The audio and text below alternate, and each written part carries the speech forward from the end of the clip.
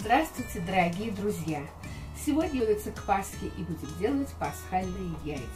Для этого нам надо будет их ошкурить, дабы были ровненькие. Для этого берем самую мелкую наждачную бумагу.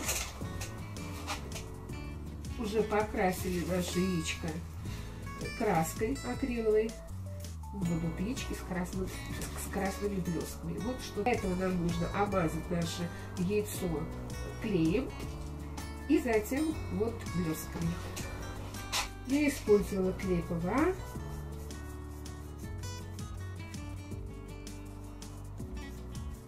Предварительно я его одела яичко на шпажку, чтобы было удобнее с ним работать. Так посыпаем блесками.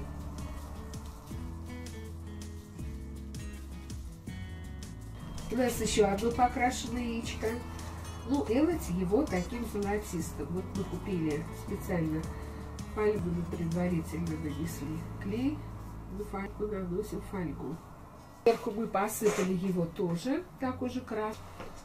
Вот мы еще взяли золотой глаз, такой по стеклу бронза. И сделали здесь вот такие точечки, типа точечной росписи. Христос воскресе.